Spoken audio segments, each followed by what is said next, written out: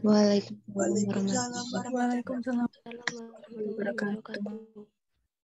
Kami dari kelompok 4 akan menjelaskan tentang konservasi keanekaragaman hayati. Yang kelompok kami beranggotakan Nur Aisyah Amini dengan NIM 4004, Nur Aura Ladisti N dengan NIM 4014, Indah Novita Effendi dengan NIM 4025, Indah Rizkyanti dengan NIM 4028, Ikrita Arisanti dengan NIM 4031, Sinta Kusuma Wardani dengan NIM 4041. Next. Untuk dan untuk materi pertama akan dijelaskan oleh saya sendiri. Pengertian keanekaragaman hayati. Nah, keanekaragaman hayati sendiri adalah suatu istilah yang mencakup semua bentuk kehidupan yang mencakup gen, spesies tumbuhan, hewan, dan mikroorganisme serta ekosistem dan proses-proses ekologi. Nah, keanekaragaman alam hayati sendiri menunjukkan berbagai variasi dalam bentuk, struktur tubuh, warna, jumlah, dan sifat lain dari makhluk hidup di suatu daerah. Sumber alam hayati merupakan bagian dari mata rantai tatanan lingkungan hidup yang menjadikan lingkungan ini hidup dan mampu menghidupkan manusia dari generasi ke generasi. Makin beraneka ragaman sumber alam ini, maka makin banyak hikmah dan pilihan bagi manusia untuk memenuhi kebutuhan hidupnya. Next.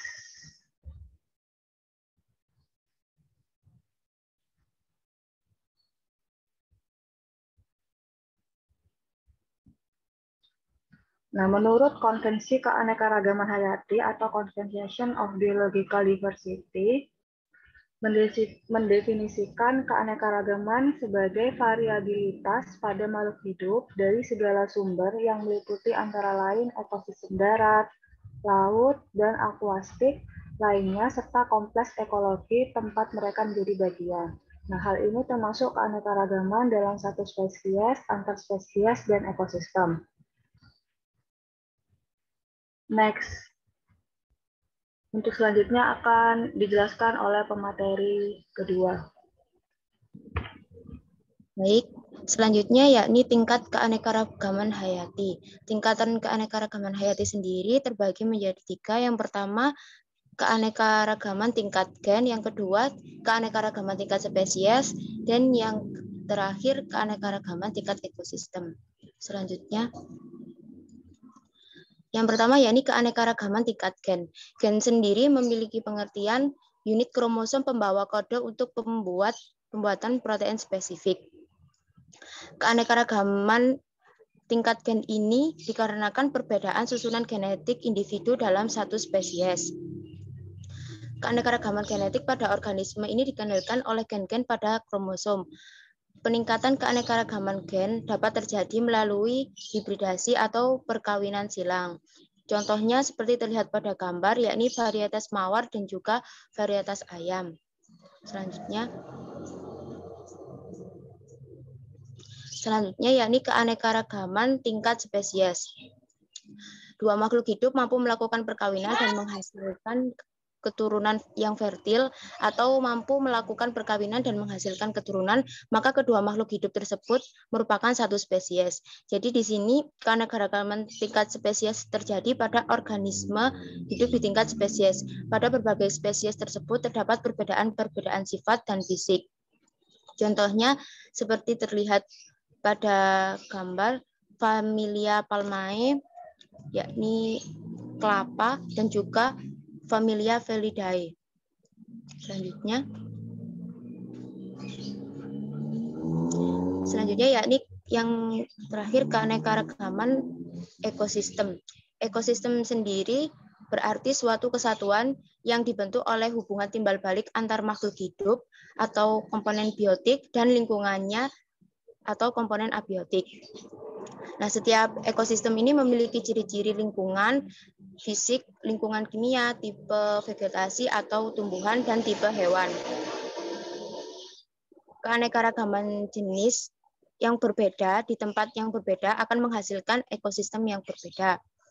Sebagai contoh, seperti terlihat pada gambar, ada ekosistem hutan hujan tropis, ekosistem savana, ekosistem padang rumput, ekosistem gurun, ekosistem taiga, ekosistem tundra, ekosistem batu gamping, ekosistem hutan gugur, dan berbagai ekosistem lainnya.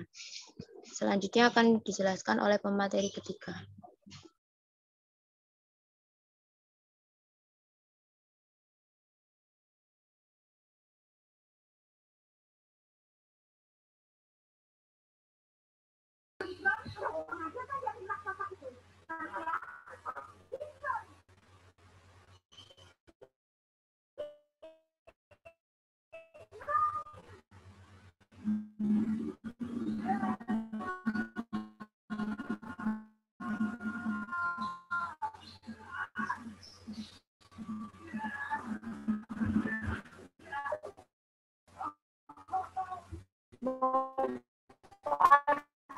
Cara, cara, cara,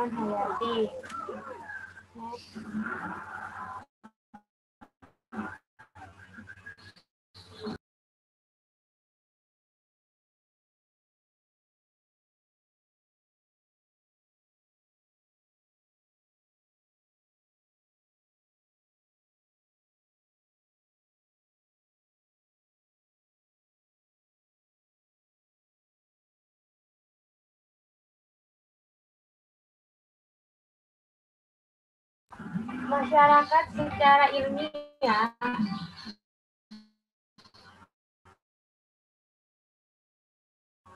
telah mengembangkan pengetahuan dan teknologi untuk memperoleh baik yang hidup secara liar maupun budidaya. Manfaat ekonomi, yaitu jenis hewan, fauna, dan tumbuhan flora dapat diperbarui dan dimanfaatkan secara berkelanjutan. Beberapa jenis kayu memiliki manfaat bagi kepentingan masyarakat Indonesia maupun untuk kepentingan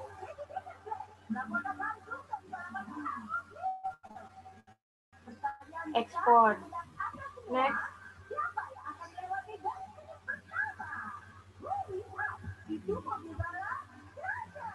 Manfaat dari segi ekologi yaitu komponen keanekaragaman hayati merupakan komponen ekosistem yang sangat penting. Misalnya hutan hujan tropis. Hutan hujan tropis memiliki nilai ekologis atau nilai lingkungan yang penting bagi bumi antara lain yang pertama sebagai paru-paru bumi dan menjaga kestabilitas kestabilan iklim global. Next.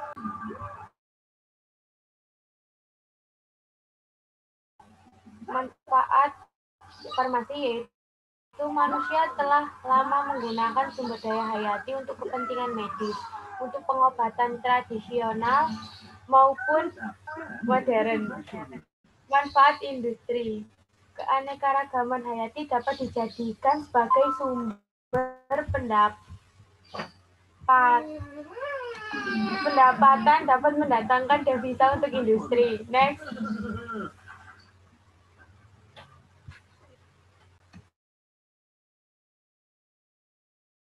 Manfaat ilmu pengetahuan dan teknologi.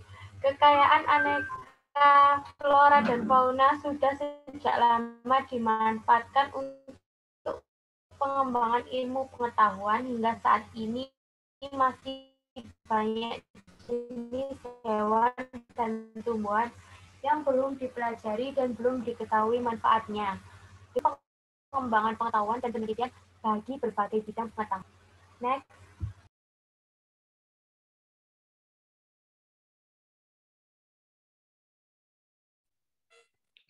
Selanjutnya, faktor penyebab punahnya keanekaragaman hayati. Next.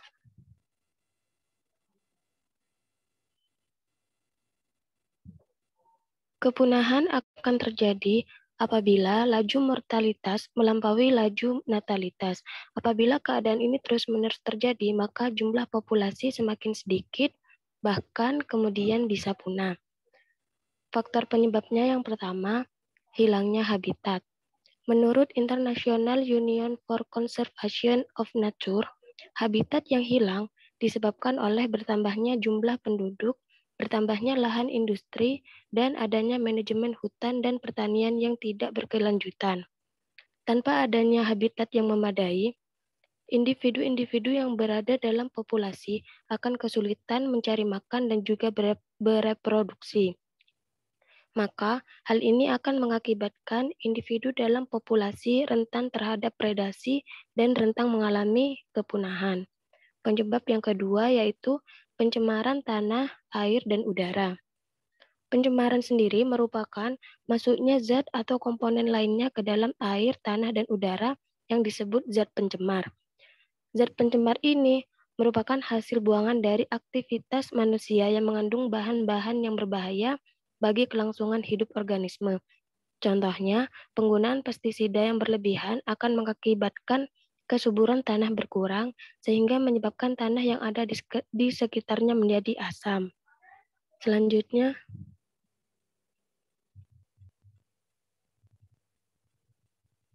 penyebab yang ketiga yaitu perubahan iklim. Perubahan iklim ini berkaitan dengan temperatur dan curah hujan. Hal ini yang mengakibatkan beberapa makhluk hidup tidak dapat menyesuaikan diri terhadap perubahan iklim tersebut. Perubahan iklim juga dapat berubah siklus hama dan penyakit. Akibatnya akan terjadi wabah penyakit. Pencemaran udara oleh gas karbon dioksida merupakan penyebab dari perubahan iklim yang akan menyebabkan efek rumah kaca. Jika efek rumah kaca dibiarkan, maka semakin lama akan terjadi perubahan struktur dan ekosistem laut.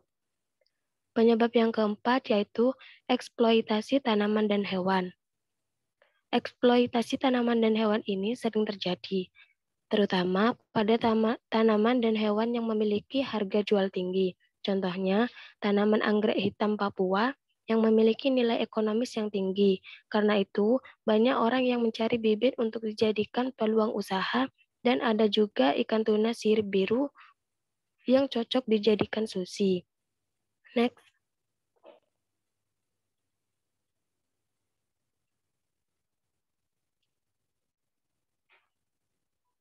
Penyebab yang kelima yaitu adanya spesies pendatang. Munculnya spesies baru di dalam daerah biasanya akan mendesak spesies lokal di daerah tersebut. Contohnya, spesies lokal dimangsa oleh spesies yang baru, maka hal ini akan menyebabkan kepunahan pada spesies lokal. Dan yang terakhir, industrialisasi pertanian dan hutan. Lahan pertanian cenderung hanya ditanami satu jenis tanaman yang menguntungkan saja, sedangkan tanaman yang tidak menguntungkan maka akan tersingkirkan. Contohnya, para petani hanya menanam satu jenis tanaman saja seperti padi, jagung, dan gandum.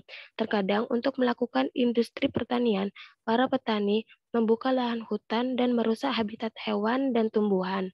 Hal ini akan mengakibatkan keanekaragaman hayati menurun di tingkat spesies. Selanjutnya akan disampaikan oleh rekan saya.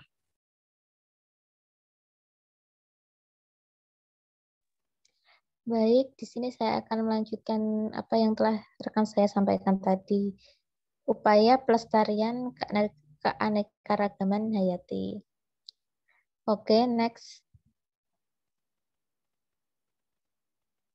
Nah, berdasarkan hasil Konferensi Nasional Pembangunan Berkelanjutan atau KNPB, dalam melaksanakan pembangunan berkelanjutan tidak lepas dari rencana tindak pembangunan berkelanjutan yang salah satunya adalah yang salah satunya adalah keanekaragaman hayati yang mencakup sembilan subbutir, yaitu menurunkan laju kemerosotan kerusakan keanekaragaman hayati, di sini dilakukan secara nyata melalui peningkatan kelestarian fungsi dan keseimbangan ekosistem sehingga tercapai pemulihan kelestarian keanekaragaman hayati. Yang kedua yaitu meningkatkan efisiensi dan yang dan berkelanjutan pemanfaatan serta mengurangi degradasi sumber daya keanekaragaman hayati.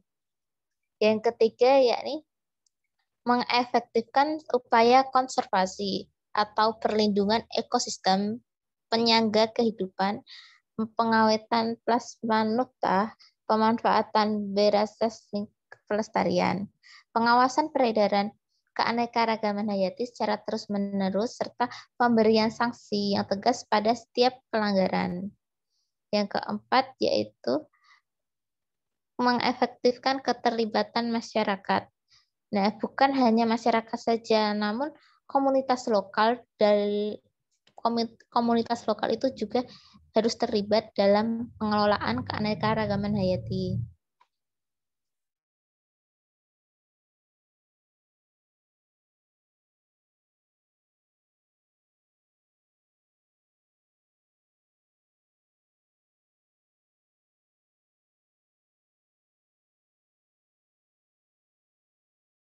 Kebijakan pengelolaan keanekaragaman hayati sejak tahun 2003. Yang ketujuh, menyediakan pembiayaan bagi investasi dan pengelolaan bank genetik yang dapat dilakukan melalui mekanisme dana amanah yang dimulai sejak tahun 2004. Yang kedelapan yakni mengembangkan balai clearing, riset, dan teknologi rekayasa dengan menerapkan prinsip kehati-hatian sejak dini dan perlindungan hak atas kekayaan intelektual intelektual property right bagi individu dan kelompok masyarakat yang dimulai sejak pada tahun 2004. Yang terakhir yakni menyusun legislasi nasional untuk menjamin akses dan pembagian keuntungan yang berkeadilan dalam pengelolaan keanekaragaman hayati. Oke, okay, next.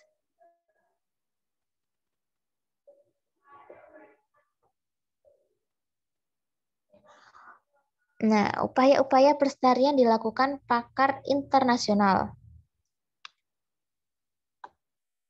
Upaya-upaya agar kepunahan keanekaragaman hayati dapat dicegah secara sistematis Para pakar di International Conservation membuat daftar merah atau ICU, IUCN atau IUCN Red List sebagai acuan dalam menentukan data dasar untuk mendapatkan target pencapaian konservasi. Seri memfokuskan prioritas aksi penyelamatan keanekaragaman hayati, daftar data merah, spesies terancam punah pada internasional one Union, Union for the Conservation of NELAN Relay. Mencantumkan data ancaman pada spesies, distribusi, dan informasi Collins. Pemanfaatan data tersebut sangat membantu dan terbukti sangat efektif untuk mendeterminasi di mana prioritas yang dilakukan untuk melakukan konservasi baik pada skala global hingga tingkat individual. Sebagai tindak, tindak lanjut untuk mengatasi ancaman dan kerusakan keanekaragaman hayati diperlukan ilmu pengetahuan dan teknologi, kebijakan-kebijakan maupun perangkat hukum. Ilmu pengetahuan diperlukan untuk menginventarisasi dan mengidentifikasi keanekaragaman hayati di Indonesia dalam sebaran keberadaan, pemanfaatan, dan sistem pengelolaannya. Oke, okay, next. Adapun strategi konservasi Dirjen PH, PHPA Departemen Kehutanan RI sejak tahun 1990 yaitu yang pertama perlindungan sistem penyangga kehidupan, yaitu dimaksudkan untuk menjamin terpeliharanya proses ekologi yang menunjang sistem penyangga kehidupan baik kelangsungan pembangunan dan kesejahteraan manusia. Yang kedua itu pengawetan keanekaragaman jenis tumbuhan dan satwa. Yang dimaksudkan di sini itu upaya yang menjamin terpeliharanya keanekaragaman sumber genetik dan tipe-tipe ekosistemnya, sehingga mampu menunjang pembangunan, ilmu pengetahuan, dan teknologi yang memungkinkan kebutuhan manusia yang menggunakan sumber daya alam bagi kesejahteraannya. Lalu yang ketiga yaitu pemanfaatan secara lestari sumber daya alam hayati Eh, di sini merupakan suatu usaha atau upaya pembatasan atau pengendalian dalam pemanfaatan sumber daya alam hayati sehingga pemanfaatan tersebut dapat dilakukan secara terus-menerus di masa mendatang dengan tetap menjaga keseimbangan ekosistemnya. Oke, okay, next. Nah, di sini tuh ada fokus pelestarian keanekaragaman hayati. Fokus itu terdiri dari fokus ekosistem darat, ekosistem laut, ekosistem agroekosistem, kawasan agroekosistem, kemudian ada yang terakhir itu konservasi ex. Oke, okay, next. Nah, ini ada upaya pelestarian itu harus disertai dengan pemeliharaan sistem pengetahuan tradisional dan pengembangan sistem pemanfaatan keanekaragaman hayati yang dilandasi oleh pembagian keuntungan yang adil. Nah, ada pun ini strategi konservasi keanekaragaman hayati dalam agenda 21 Indonesia pada tahun 1997 dibagi menjadi ini ya, bisa dilihat dalam slide. Yang pertama, meningkatkan pembentukan sistem kawasan lindung berikut pengelolaannya secara efektif. Yang kedua, melestarikan keanekaragaman hayati pada kawasan agroekosistem pada kawasan ekosistem dan kawasan non lindung atau produksi. Yang ketiga itu ada pelestarian keanekaragaman hayati secara ex situ. Lalu yang keempat, melindungi sistem pengetahuan masyarakat tradisional serta meningkatkan seluruh sistem pengetahuan yang ada tentang konservasi dan keanekaragaman hayati. Yang terakhir, mengembangkan dan mempertahankan sistem pengelolaan keanekaragaman hayati berkelanjutan termasuk pembagian keuntungan yang adil. Dalam pembangunan terjadi konversi lahan pertanian untuk keperluan bukan pertanian. Hal ini akan mempengaruhi keanekaragaman hayatinya serta flora dan fauna akan kehilangan tempat mereka. Maka dari itu penting untuk melakukan konservasi keanekaragaman hayati sehingga tidak terjadi kepunahan flora maupun fauna. Oke, okay, next. Nah, dalam rencana aksi untuk melestarikan keanekaragaman hayati ada tiga prinsip nih melestarikan melestarikan keanekaragaman hayati yakni safe, study, and use. Nah, pendekatan ini lebih bersifat holistik, yaitu pendekatan menyeluruh yang diharapkan dapat melindungi spesies dengan tidak meninggalkan aspek manfaat. Safe atau perlindungan dapat dijabarkan sebagai usaha pengelolaan legislasi perjanjian internasional dan proceeding seminar nasional penelitian, pendidikan, dan penerapan MIPA. Studi atau penelitian dapat meliputi penelitian dasar seperti penelitian keanekaragaman spesies, habitat, komunitas, ekosistem, dan juga perilaku serta ekologi dari spesies. Kemudian yang terakhir ada use. Dalam pemanfaatan, eh, sering direncanakan untuk program-program manfaat bagi masyarakat, berbagai komoditi, perdagangan, turisme, dan jasa. Penelitian dalam keanekaragaman hayati sangat penting karena penggunaan maupun pelestariannya tidak dapat dilakukan tanpa penelitian ilmiah. Maka dari itu penelitian terus dikembangkan agar pemanfaatan sumber daya hayati dapat lestari dan berlanjut sesuai dengan cita-cita manusia agar dapat hidup berdampingan dan selaras dengan alam. Oke, okay, next. Selanjutnya akan dijelaskan oleh rekan saya. Ya, selanjutnya saya akan menjelaskan tentang bentuk dan macam konservasi keanekaragaman hayati.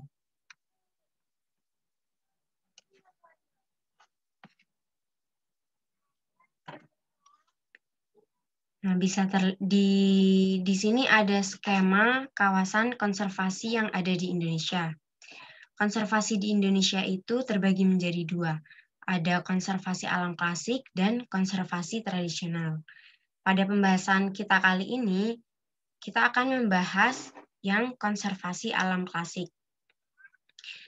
Konsep eh, konservasi alam klasik ini merupakan konsep konservasi yang melihat perlunya pengawetan dan perlindungan sumber daya alam, serta spesies-spesies organisme yang terancam punah oleh kegiatan manusia. Konservasi alam klasik ini dibagi menjadi dua, yaitu konservasi secara ex situ dan konservasi secara in situ. Konservasi ex situ adalah konservasi yang mengkonservasi spesies flora dan fauna di luar habitatnya, yang yang tujuannya melindungi spesies-spesies langka dari habitat alaminya yang mulai terancam serta mendapat campur, mendapatkan campur tangan dari manusia. Nah, konservasi ex situ ini eh, apa dibagi menjadi empat, yaitu ada kebun raya, arboretum, kebun binatang, dan akuarium yang akan dijelaskan di slide selanjutnya. Kemudian ada konservasi in situ. Konservasi in situ adalah konservasi yang dilakukan dengan mengkonservasi flora dan fauna di lingkungan asalnya atau di lingkungan aslinya, yang metodenya adalah flora dan fauna tersebut dijaga dalam ekosistem yang alami tanpa campur tangan manusia. Nah, konservasi in situ ini dibagi menjadi dua. Ada kawasan suaka alam dan kawasan pelestarian alam. Nah, contoh dari kawasan suaka alam ada cagar alam dan suaka marga satwa. Sedangkan untuk kawasan pelestarian alam ada Taman Nasional, Taman Hutan Raya, Taman Wisata Alam, dan Taman Buru.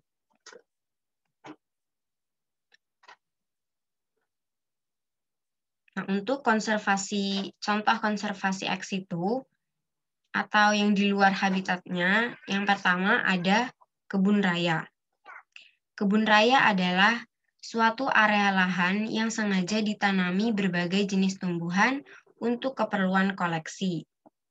Kebun raya juga memiliki tujuan utama untuk penelitian dan itu tadi konservasi untuk konservasi ex situ.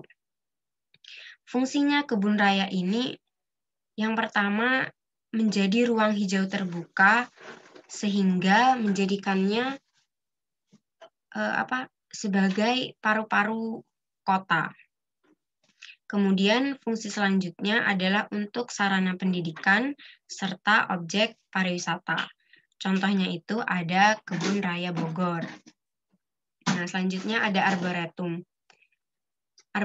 Arboretum adalah suatu kebun botani yang biasanya ditanami berbagai jenis tumbuhan lokal.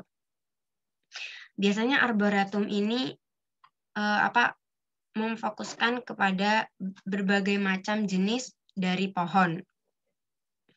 Nah, tujuan dari arboretum ini hampir sama seperti kebun raya, yaitu untuk penelitian dan pendidikan serta objek wisata edukatif dan tidak terlepas dari uh, tujuan utamanya yaitu sebagai konservasi, sebagai habitat bagi berbagai macam jenis flora dan fauna. Nah, selanjutnya ada kebun binatang. Kebun binatang adalah tempat berbagai macam hewan yang dipelihara dalam lingkungan dalam lingkung, dalam lingkungan buatan. Nah, contohnya contoh kawasan kebun binatang ada Surabaya Zoo yang terletak di Surabaya. Kemudian ada akuarium. Akuarium adalah salah satu pusat konservasi dalam ruang yang khusus untuk pelestarian berbagai macam hewan laut. Nah, dari tadi kan ada di luar ruangan. Nah, untuk akuarium ini adalah salah satu konservasi dalam ruang yang dikhususkan untuk pelestarian berbagai macam hewan laut. Contohnya akuarium itu ada di SeaWorld, SeaWorld Ancol dan Jakarta Aquarium. Selanjutnya ada untuk kawasan in situ yang bagian kawasan suaka alam. Yang pertama ada cagar alam. Cagar alam adalah kawasan suaka alam yang di dalamnya memiliki kekhasan ekosistem, baik flora maupun faunanya. Supaya tidak terganggu oleh manusia, cagar alam ini biasanya dilindungi secara ketat. Oleh karena itu, kegiatan wisata dan kegiatan komersial sangat dilarang di dalam cagar alam ini. Untuk bisa masuk ke cagar alam, biasanya harus memiliki surat izin khusus. Tanpa surat izin khusus tersebut, kita tidak akan boleh masuk ke cagar alam. Upaya e, bentuk upaya yang dilakukan di cagar alam, yang pertama ada perli, untuk perlindungan dan pengamanan kawasan. Yang kedua, untuk inventarisasi potensi kawasan. Dan yang ketiga, untuk penelitian dan pengembangan yang menunjang uh, konservasi.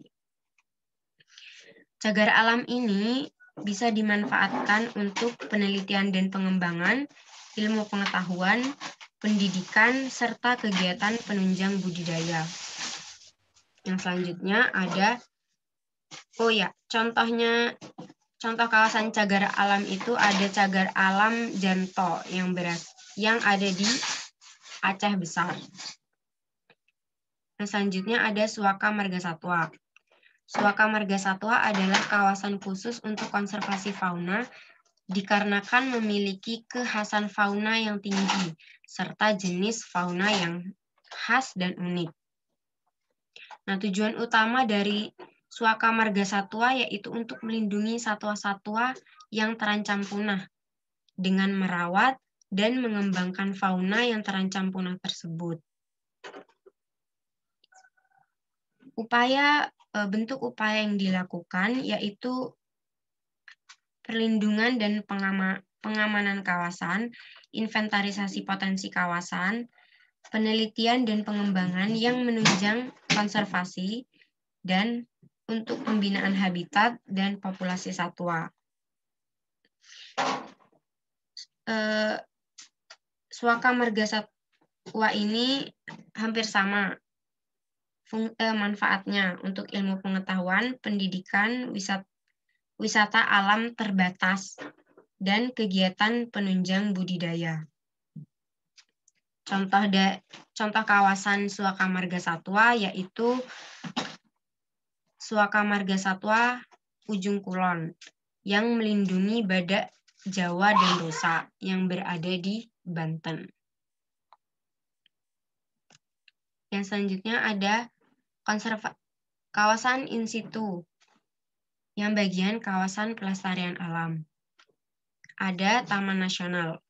Taman Nasional adalah kawasan pelestarian dengan ekosistem asli yang digunakan untuk keperluan penelitian, pendidikan, budidaya, dan pariwisata. Taman Nasional ini hampir mirip dengan cagar alam, tapi yang menjadi perbedaan itu Taman Nasional ini masih boleh dikunjungi untuk rekreasi dan pariwisata. Contoh kawasan taman nasional itu ada Wikambas National Park yang ada di Lampung. Kemudian ada Taman Wisata Alam. Taman Wisata Alam adalah kawasan pelestarian alam dengan tujuan untuk kepentingan rekreasi, rekreasi alam dan pariwisata. Nah, ada kriteria untuk eh, penunjukan dan penetapan taman wisata alam.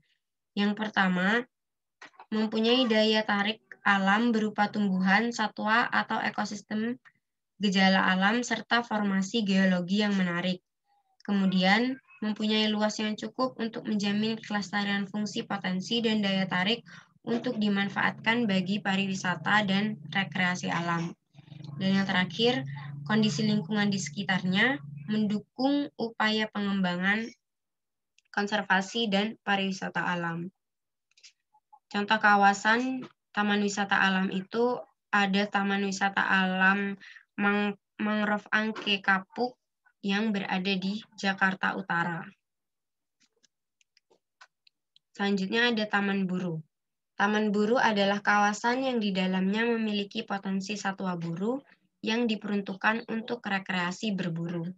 Jadi Taman Buru ini khusus untuk eh, apa rekreasi berburu. Contohnya itu ada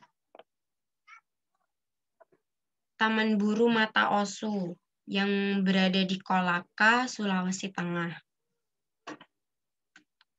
Dan yang terakhir ada Taman Hutan Raya. Taman Hutan Raya adalah kawasan pelestarian alam sebagai tujuan koleksi flora dan fauna yang alami. Yang alami atau bukan alami. Jenis asli atau bukan jenis asli yang bertujuan untuk pendidikan, penelitian, dan pariwisata. Contoh kawasan Taman Hutan Raya yaitu ada Taman Hutan Raya Bukit Barisan yang apa berada di Sumatera Utara. Nah, yang membeda hampir mirip dengan taman wisata alam, tapi kalau taman hutan raya ini lebih ke koleksinya daripada ke pariwisatanya. Seperti itu. Demikian saya kembalikan ke moderator.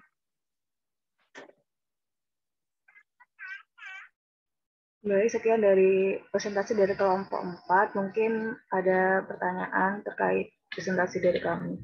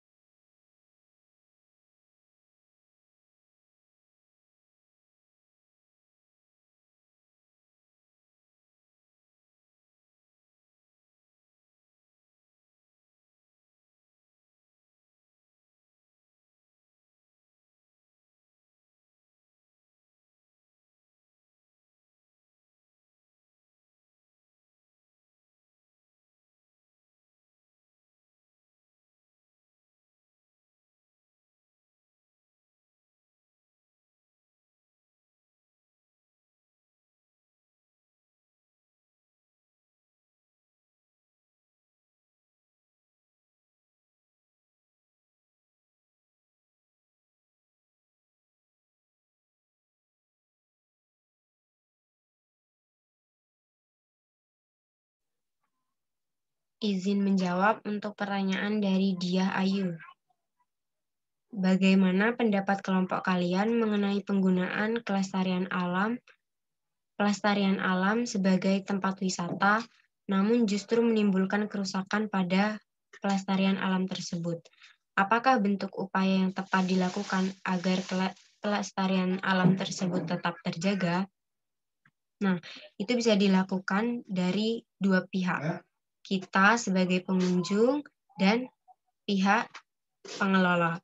Kita sebagai pengunjung harus membaca lagi, membaca membaca peraturan membaca peraturan yang sudah diterapkan di kawasan pelestarian alam tersebut dengan kesadaran yang tinggi. Kemudian eh, dari pihak pengelola bisa lebih mempertegas lagi bagaimana implementasinya dalam menegakkan peraturan untuk kawasan pelestarian alam tersebut. Gimana dia Ayu? Apa ada tanggapan? Tidak, sudah cukup jelas penjelasannya. Terima kasih. Iya, sama-sama.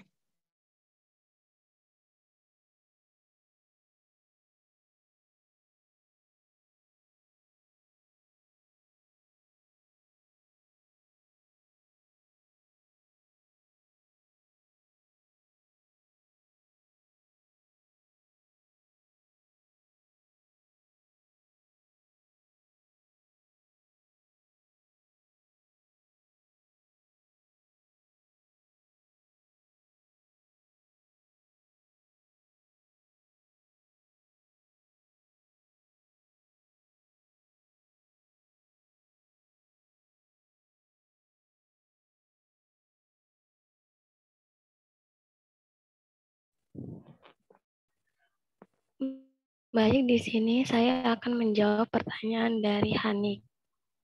Yang pertanyaannya, Indonesia kan dikenal sebagai negara yang memiliki keanekaragaman hayati tertinggi. Nah, pertanyaannya pada umumnya permasalahan apa yang dihadapi dalam mengkonservasi keanekaragaman hayati tersebut? Nah, permasalahan konservasi di Indonesia tentu saja sangat banyak, terutama di kawasan hutan konservasi yang mencapai luasan sekitar 27,57 hek juta hektar. Persoalan persoalan ini di antaranya keterlanjutan perambahan hutan yang terjadi sebelum adanya kawasan konservasi atau ketika kawasan konservasi sudah ditetapkan. Akibatnya, tidak dilakukan pengawasan yang sangat ketat, perambahan ter terjadi beberapa tahun, dibiarkan dan terus berkembang. Persoalan perambahan ini belum dapat diselesaikan secara rasional hingga era-era kemarin. Di kawasan hutan konservasi banyak sekali keterlanjutan dan salah satunya disebabkan masyarakat setempat atau ingin mencari kehidupan. Jadi, karena itu lebih ke faktor kemiskinan, belum lagi soal pemburuan dan perdagangan tumbuhan dan satwa liar secara ilegal yang hingga kini masih berlangsung.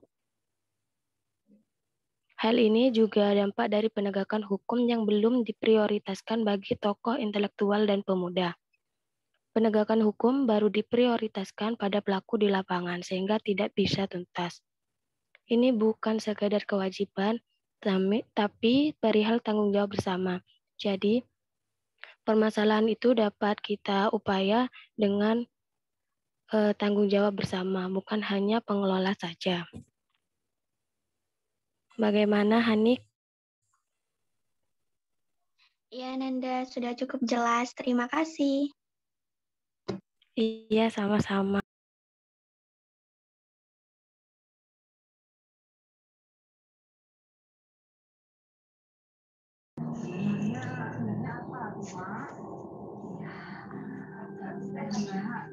Baik, di sini saya akan menjawab pertanyaan dari Nurdiati Anggraini. Mengapa keanekaragaman hayati di Indonesia cukup tinggi? Dan menurut kelompok kalian, mengapa kita perlu melestarikan keanekaragaman hayati di Indonesia mulai dari sekarang? Mengapa keanekaragaman hayati di Indonesia cukup tinggi? Hal ini dikarenakan Indonesia terletak di daerah tropik, sehingga memiliki keanekaragaman hayati yang tinggi dibandingkan dengan daerah subtropik dan juga kutub. Nah, tingginya keanekaragaman hayati di Indonesia ini terlihat dari berbagai macam ekosistem yang ada di Indonesia dan juga flora fauna yang terdapat di Indonesia. Mengapa kita perlu melestarikan keanekaragaman hayati dimulai dari sekarang? Karena keanekaragaman hayati ini memberikan manfaat bagi kehidupan manusia, yaitu sebagai penunjang keberlanjutan ekosistem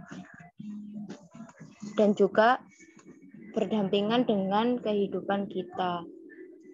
Jadi kita perlu melestarikan keanekaragaman hayati tersebut. Mungkin ada tambahan dari kelompok saya. Bagaimana dia? Ya, sudah cukup Aisyah. Terima kasih. Sami-sami. Saya izin menjawab pertanyaan dari Anissa Ratnabila, bagaimana cara mengatasi terjadinya industrialisasi pertanian dan hutan. Salah satu caranya yaitu melakukan pengawasan hutan, sertifikasi hukum dan sukarela, dan lahan yang terdegradasi. Apakah ada tanggapan dari Anita? Baik, terima kasih. Sama-sama.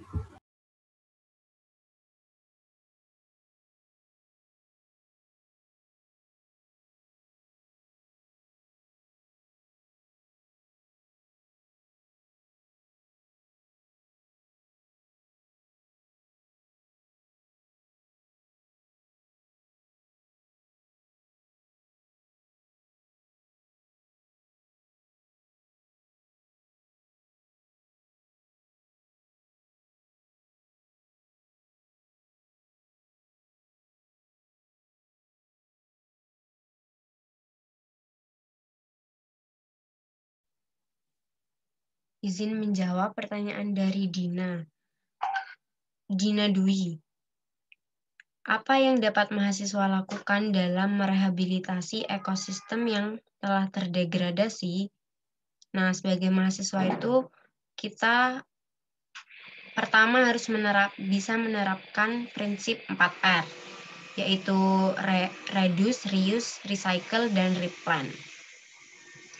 Nah, karena penerapan prinsip 4R ini dari internal, dari diri kita dan kesadaran kita sendiri.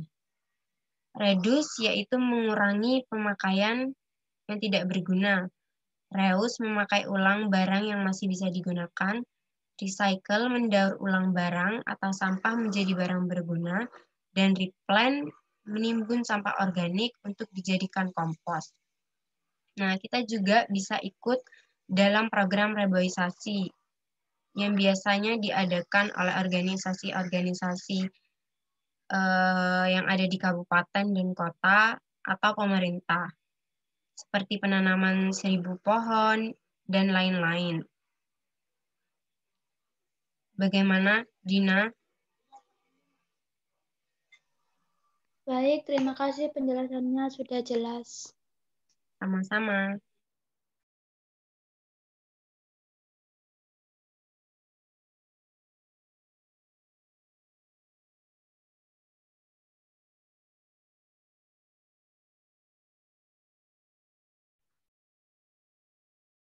Saya akan menjawab pertanyaan dari Rindi.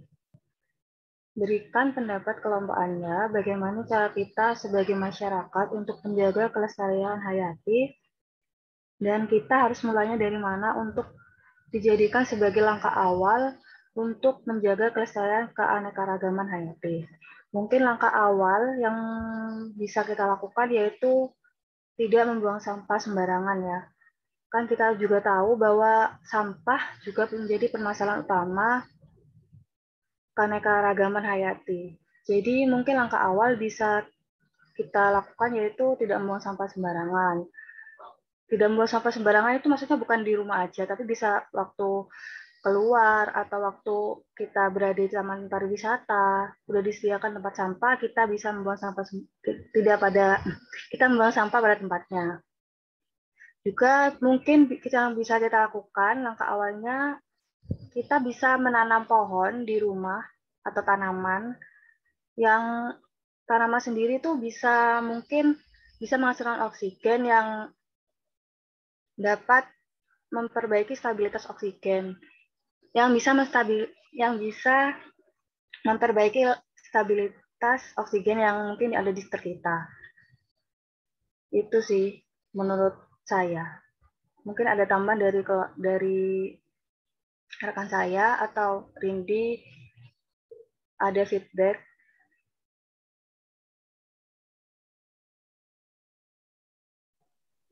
Dari saya sudah cukup. Terima kasih. Ya, sama-sama.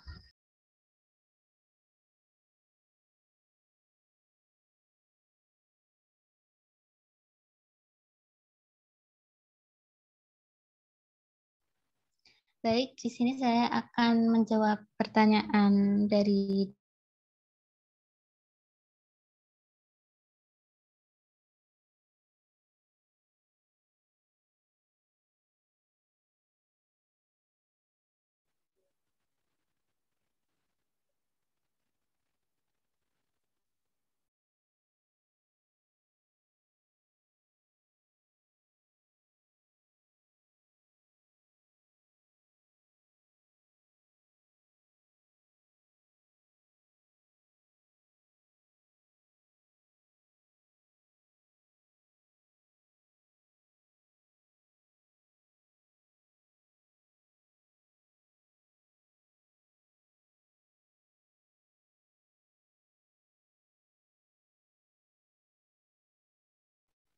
Halo, apakah Dina mendengar suara saya?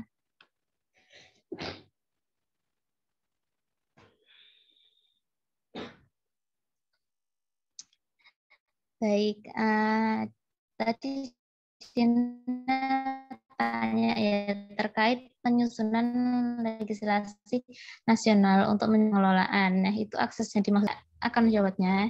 Akses yang dimaksudkan itu untuk pemerintahan, yakni Kementerian Lingkungan Hidup dan Kehutanan. Yang kedua itu ada Direktorat Konservasi Keanekaragaman Hayati. Dan yang ketiga ada Balai Konservasi, serta yang keempat ada pihak peneliti.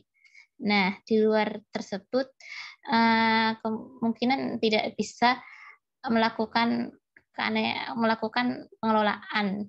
Karena apa? Karena sudah sudah ada undang-undangnya, yakni Undang-Undang RI, Undang-Undang RI nomor 5 tahun 2000 eh, tahun 1990 tentang konservasi sumber daya alam hayati dan ekosistemnya yang dengan ekosistemnya. Nah, di situ uh, pihak masyarakat juga terlibat dalam membantu uh, konservasi hayati di sini karena uh, tangan kita, tangan masyarakat kita, tangan masyarakat Indonesia itu kebanyakan itu merusak. Jadi uh, hanya beberapa pihak saja yang diberi akses untuk pengelolaannya. Namun di luar itu juga ada pihak yang nakal dengan memalsukan akses tersebut uh, dengan tujuan yang lain begitu. Nah, itu biasanya dilakukan penyidikan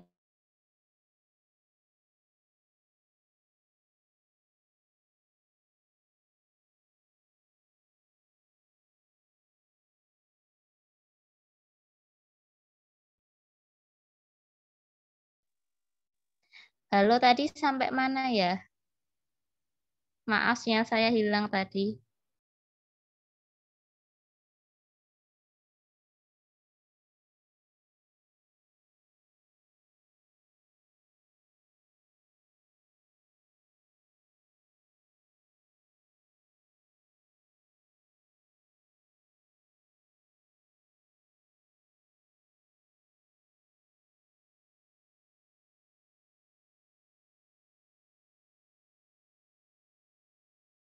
Sampai dilakukan penyidikan, Sinta.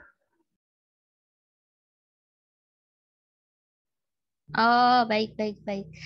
Uh, penyidikan itu pada UU RI nomor 5 tahun 1990 tadi itu uh, pada bab 3 pada penyidikan pasal 39 selain dikatakan selain pejabat penyidik kepolisian negara Republik Indonesia juga pejabat pegawai negeri sipil tertentu di lingkungan departemen yang lingkup tugas dan tanggung jawabnya meliputi pembinaan konservasi sumber daya alam hayati dan ekosistemnya diberi wewenang untuk diberi wewenang khusus sebagai penyidik sebagaimana dimaksud dalam Undang-Undang Nomor 8 Tahun 1981 tentang hukum acara pidana untuk melakukan penyidikan tindak pidana di bidang konservasi sumber daya alam hayati dan ekosistemnya.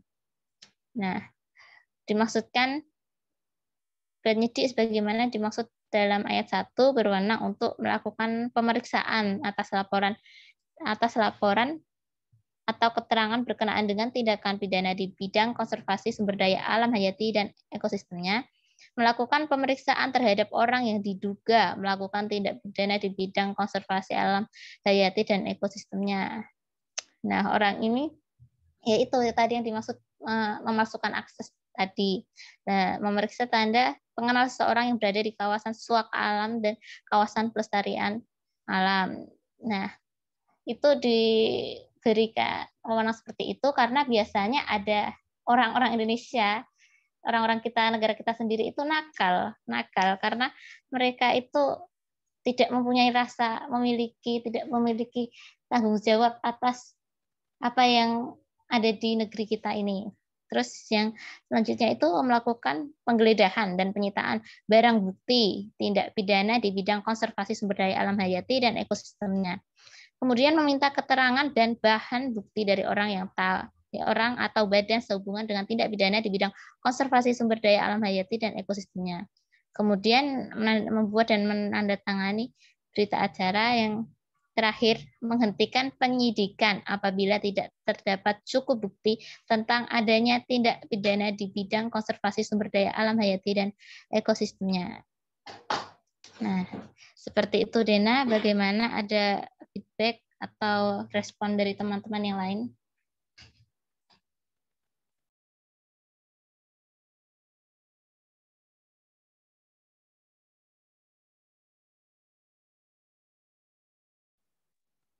Baik, eh, itu mm, empat pihak itu tadi yang diberi akses untuk melakukan pengelolaan.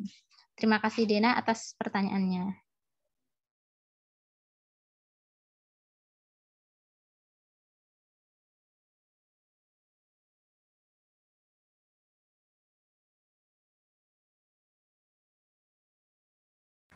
Saya izin menjawab pertanyaan dari Salsabila. Indonesia dikatakan memiliki ekosistem hujan tropis yang tersebar di Pulau Jawa, Sumatera, Kalimantan, Sulawesi, dan Papua. Terdapat banyak keunikan dari keanekaragaman hayati yang hidup di dalamnya. Lalu apakah ada upaya pelestarian yang dilakukan secara berbeda-beda sesuai dengan keunikan setiap daerah masing-masing? Menurut pendapat saya, upaya pelestarian yang dilakukan pada hujan tropis di Indonesia itu sama. Keunikannya pun tidak jauh berbeda, yaitu dengan cara melakukan reboisasi, menerapkan sistem tebang pilih, menerapkan sistem tebang tanam, melakukan penebangan secara konservatif, memberikan sanksi pada penebang yang melakukan penebangan sembarangan, tidak membuang sembarangan sampah sembarangan di hutan, melindungi dan menjaga habitat yang ada di hutan, dan tidak mencoret-coret pohon yang ada di hutan. Apakah bisa diterima? Iya, baik, sudah cukup. Terima kasih. Sama-sama.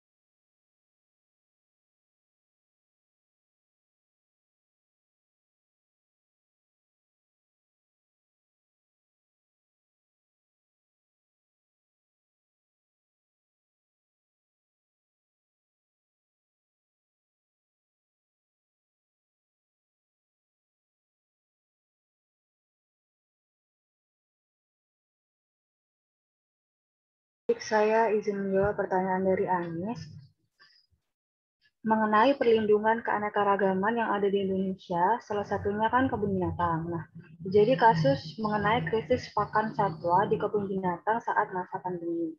Bagaimana menurut pendapat kalian mengenai hal ini? Hmm, untuk kebun binatang sendiri, memang pada masa pandemi ini mengalami krisis makanan ya. Menurut pendapat kami, untuk krisis makanan bisa bisa dilakukan upaya seperti seperti ada beberapa organisasi, mungkin organisasi yang baik dibentuk sendiri atau mungkin udah dibuat oleh pemerintah. Nah, untuk saya memberikan contoh yaitu organisasi yang dibuat sendiri oleh komunitas ya. Itu contohnya mungkin relawan Nusantara ya. Pada relawan Nusantara itu juga terdapat komunitas yang mungkin tidak terlalu konser terhadap keanekaragaman hayati, mungkin konser terhadap bencana alam. Nah, apa kekurangan krisis pakan satwa ini kan termasuk bencana alam kan? Eh bukan bencana alam, maksudnya bencana, suatu bencana. Nah, relawan ini sendiri mungkin bisa mengatasi krisis ini. Nah, contohnya bisa membuka dana di website atau mungkin di di suatu platform tertentu seperti kita bisa. Nah, itu bisa bisa kita akses. Mungkin yang mau kayak mau memberikan dana, nah itu juga bisa bisa menjadi upaya untuk mengatasi krisis pakan satwa yang ada di kebun binatang nah masa pandemi ini. Seperti itu Anis, apakah mungkin ada feedback atau tambahan dari rekan saya?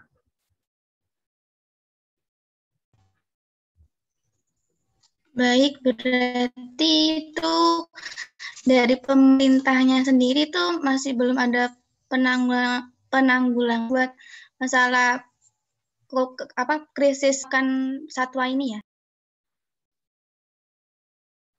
Untuk dari pemerintah mungkin ada, tapi mungkin kita belum lihat atau mungkin kita belum tahu gitu aja sih. Kalau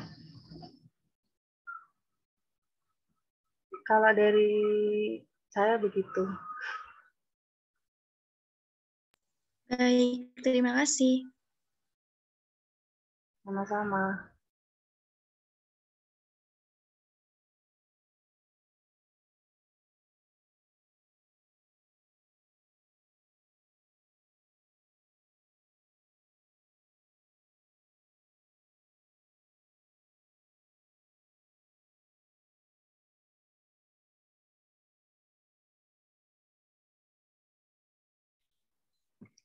Baik, di sini saya akan menjawab pertanyaan dari Elisa. Apakah Elisa mendengar suara saya?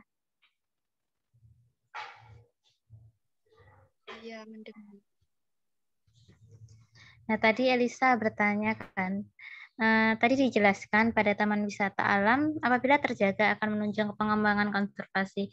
Nah, pengembangan yang dimaksud itu pengembangan seperti apa? Nah, saya akan menjawabnya ya uh, pengetahuan saya yang saya baca dari jurnal-jurnal itu uh, pengembangan dari konservasi itu bisa untuk wisata. Wisata jika wisata itu berjalan lancar pengunjungnya banyak nah, secara tidak langsung ekonomi masyarakat di situ juga akan berkembang.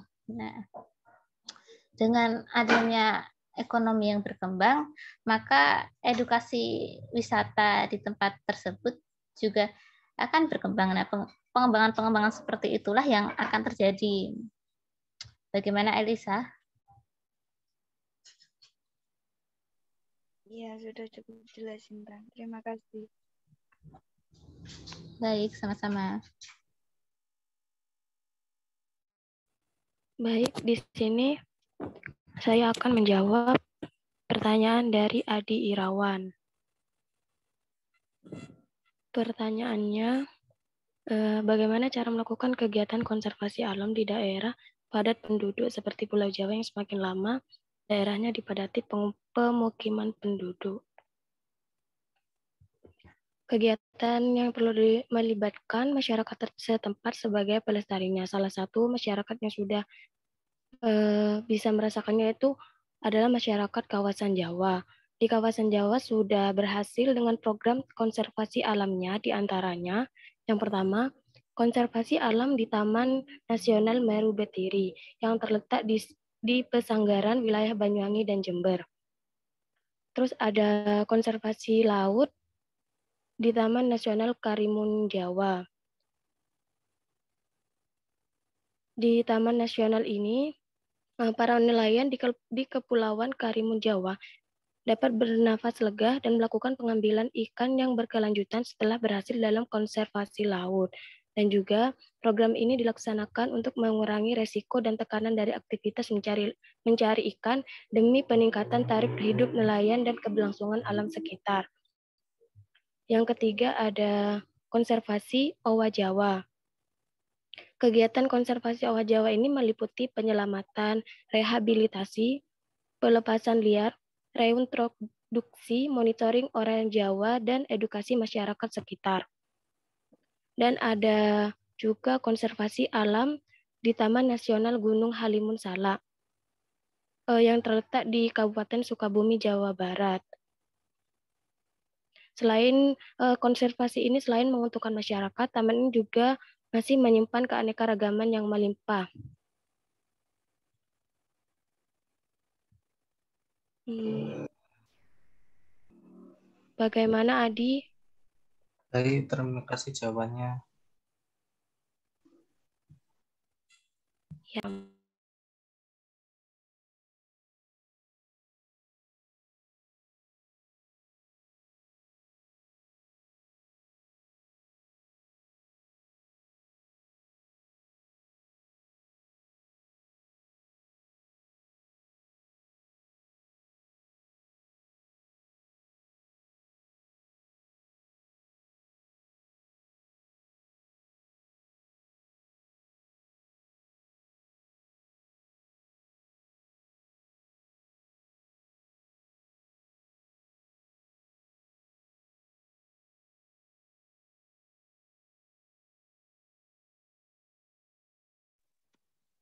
Izin menjawab pertanyaan dari Clarissa. Izin bertanya, pemburuan dan perdagangan satwa liar masih kerap terjadi. Apa yang menyebabkan hal ini terjadi? Apakah kesadaran masyarakat masih rendah atau kurangnya kontribusi pemerintah dalam penanganan masalah ini? Jika kesadaran masyarakat juga berpengaruh, lantas bagaimana kita memberikan sosialisasi atau mengedukasi masyarakat dengan baik dan benar yang dapat diterima oleh masyarakat agar kesadaran masyarakat meningkat. Tolong sertakan contohnya. Nah, faktor-faktor tersebut eh, di antaranya ada tiga faktor. Yang pertama karena faktor ekonomi. Jumlah masyarakat eh, di Indonesia yang berpenghasilan rendah, yang masih cukup tinggi angkanya, ini merupakan salah satu faktor terbesar yang membuat mengapa perdagangan liar dan pemburu, pemburuan liar itu terjadi. Jadi tidak heran maka di beberapa daerah itu berburu itu masih dijadi menjadi pekerjaan yang sangat menguntungkan. Kemudian ada faktor lingkungan. Di faktor lingkungan itu perburuan satwa liar masih banyak yang menganggap wajar karena ada yang berpikir mengkonsumsinya bisa menjadi uh, bisa menja membawa keberuntungan atau bisa menjadi sehat. Contohnya itu apabila mengkonsumsi testis harimau bisa meningkatkan gairah seksual. Telur penyu yang memiliki manfaat sebagai Viagra. Kulit harimau yang memberikan kewibawaan, dan lain-lain. Dan yang terakhir itu tadi, faktor kurangnya edukasi. Uh, khususnya yang berada di daerah pedalaman, yang biasanya dengan dekat dengan kawasan konservasi in situ. Biasanya para warganya tersebut kurang edukasi mengenai apa itu satwa liar, bagaimana jenis-jenis satwa liar yang dilindungi, dan lain-lain. Peran pemerintah tersebut atau peran pemerintah di sana itu sangat uh, vital, sangat diperlukan. Padahal itu penting bagi mereka edukasi tentang hal tersebut karena uh, warga yang pedalaman tersebut biasanya berhubungan atau berkontak langsung dengan kawasan konservasi yang ada di sana. Hmm, faktor-faktor ini bisa ditekan apabila pemerintah bisa memberikan edukasi yang cukup kepada masyarakat. Seperti eh, kita sebagai mahasiswa bisa melakukan eh, sosialisasi ke daerah yang terdalam atau ke daerah 3T. Bagaimana apa jenis-jenis hewan apa saja dan tumbuhan apa saja yang dilindungi. Serta pemerintah juga bisa menekan kejahatan ini dengan memberikan apa eh, kebijakan atau hukuman, memaksimalkan hukuman untuk pelakunya, sehingga membuat para pelaku tersebut jerah dan tidak lagi mengulang perbuatan yang sama. Begitu Clarissa, apakah ada tanggapan? Jadi intinya itu karena kurangnya kontribusi pemerintah terhadap masyarakat mengenai apa pemburuan liar atau penjualan hewan liar ini sehingga kesadaran masyarakat berkurang seperti itu. Iya, peran pemerintah itu sangat penting karena kan yang megang yang memegang uh, peraturan dan yang melaksanakan uh, hukuman maksudnya pelak bukan pelaku uh, yang menjaga peraturan itu kan pemerintah dan juga kesadaran masyarakat juga diperlukan karena kesadaran masyarakat yang kurang itu kan edukasinya eh edukasi yang kurang membuat kesadaran masyarakat itu kurang seperti itu. Jadi untuk yang melakukan edukasi terhadap masyarakat itu pemerintah, nggih? Iya, pemerintah melalui mahasiswa seperti itu. Iya, melalui kan ada badan-badannya yang berada di bawah pemerintah. Yang apa? Hmm. Kenapa? Enggak mau enggak dilanjutkan. Ya kan di bawah pemerintah banyak lembaga-lembaga atau organisasi yang bisa berhubungan langsung dengan masyarakat yang bisa memberikan sosialisasi hal tersebut. Begitu. Terima kasih. Sama-sama.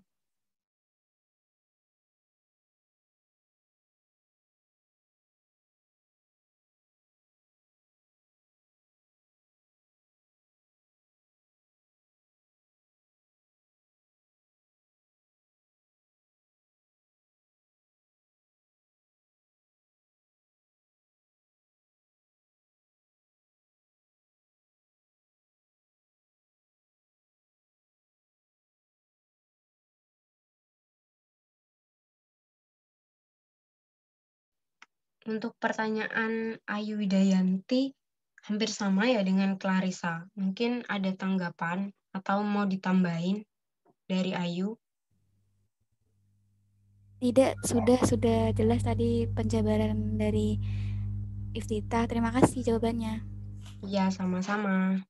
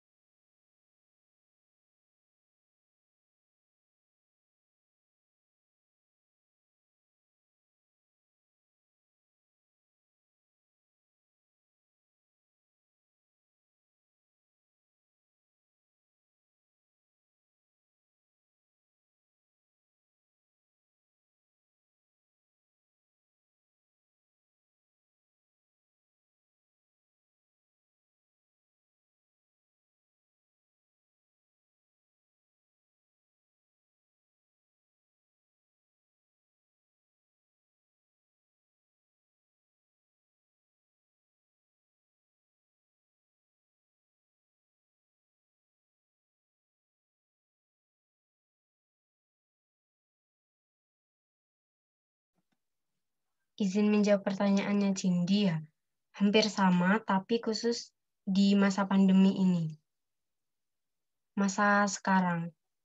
Nah, kan di masa pandemi ini pemerintah juga sudah banyak memberikan bantuan dana kepada masyarakat yang bisa digunakan sebagai kebutuhan eh, apa kebutuhan sehari-hari mereka. Juga tadi eh, perlunya edukasi lagi kepada masyarakat untuk eh, apa memberikan wawasan kepada masyarakat untuk menghilangkan eksploitasi pada hewan dan tumbuhan. Jadi pemerintah saat ini kan sudah banyak memberikan bantuan dana seperti bantuan bantuan bantuan-bantuan yang saat ini diberikan. Bagaimana Cindy? Ada tambahan?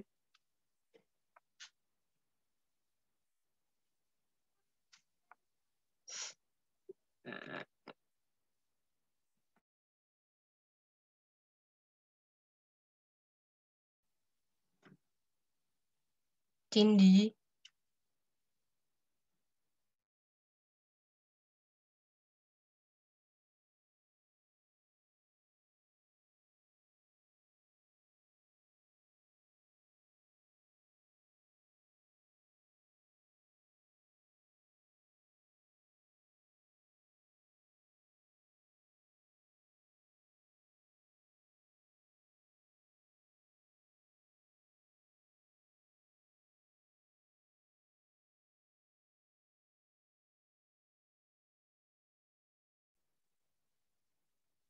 Mungkin teman sekelompok saya menambahkan.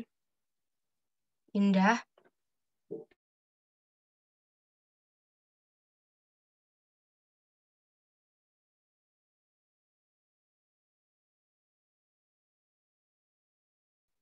Mungkin untuk untuk mengatasinya tidak bisa langsung menghilangkan gitu aja ya. Mungkin bisa dilakukan edukasi, kata Tita tadi, edukasinya lebih mendekat, lebih dilakukan edukasi dengan melakukan pendekatan dalam agama kan eksploitasi atau mungkin pengambilan sumber daya alam yang berlebihan kan tidak dianjurkan dalam ajaran Islam. Mungkin bisa dilakukan edukasi yang berhubungan dengan pendekatan agama agar eksploitasi bisa berkurang dan mungkin dapat diminimalisir. Gitu mungkin ada tambahan dari rekan saya.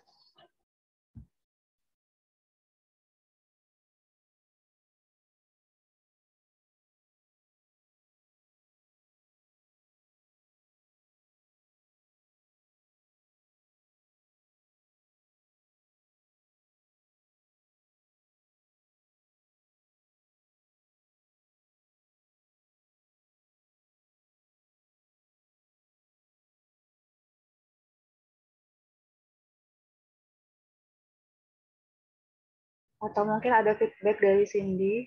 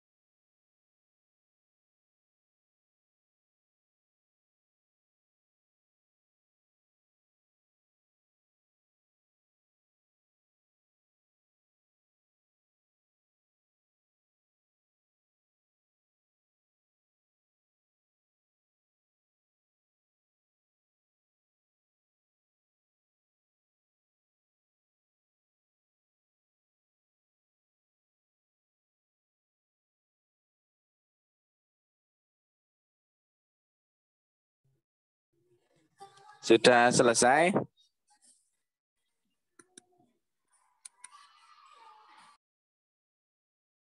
Belum, Bapak. Masih ada satu pertanyaan yang belum terjawab.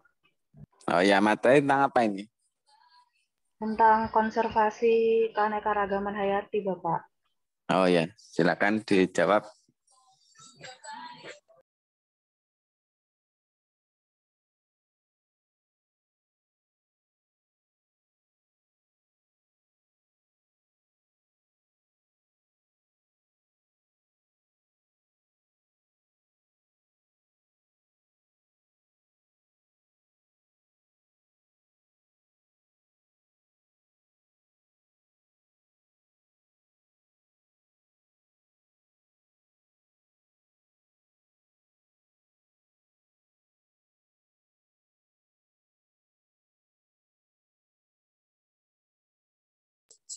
Sambil saya beri materi ya, silakan saya dikasih untuk share screen.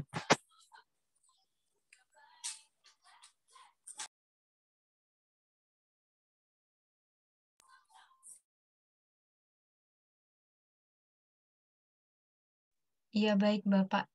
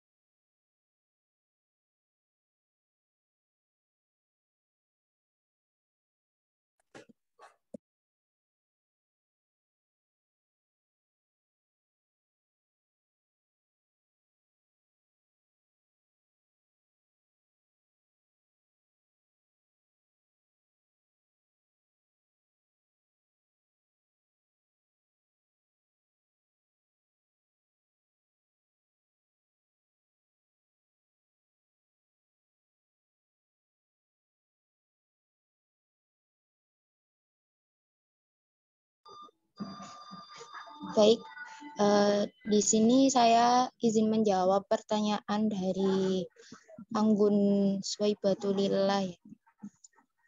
Pertanyaannya mengenai salah satu prinsip melestarikan keanekaragaman hayati yaitu dengan program-program pemanfaatan masyarakat.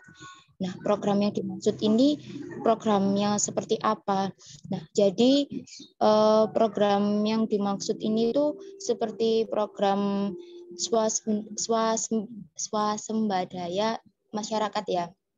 Jadi ini itu uh, dapat dilakukan dengan peningkatan ketahanan pangan dan revitalisasi pertanian, perikanan, dan juga kehutanan. Uh, untuk di sini contohnya seperti di kehutanan ya dapat dilakukan uh, penanaman seribu pohon seperti yang program-program yang biasa dilakukan oleh masyarakat. Kemudian uh, dapat juga dilakukan dengan merecycle atau meredus sampah-sampah yang bisa didaur ulang. Kurang lebih seperti itu. Mungkin ada tambahan dari anggota kelompok saya dan mungkin ada feedback dari Anggun.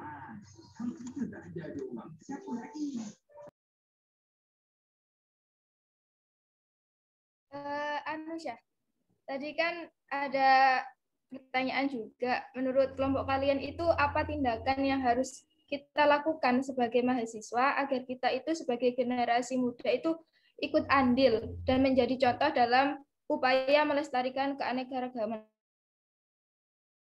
Seperti apa?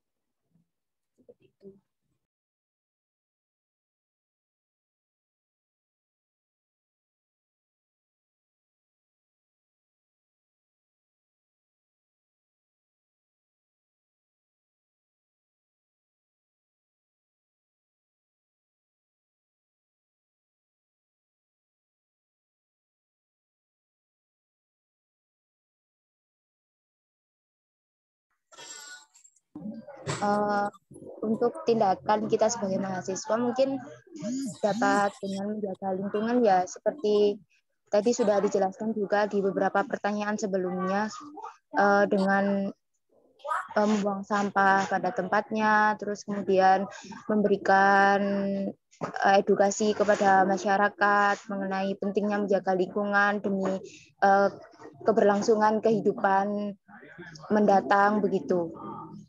Bagaimana Anggun? Oke, bisa dimengerti. Terima kasih, Syah. Sudah selesai ya? Jadi eh, secara umum konservasi itu tentang bagaimana pengelolaan sumber daya alam itu secara bijak, eh, tidak merusak, kemudian bisa menjaga kelestariannya sehingga bisa bermanfaat bagi eh, generasi ke depan. Ya tadi sudah bagus untuk presentasinya. Eh, kemudian nanti silakan ditulis ya untuk siapa yang tanya hari ini. Eh, dan saya akhiri dulu ya karena saya juga mau menguji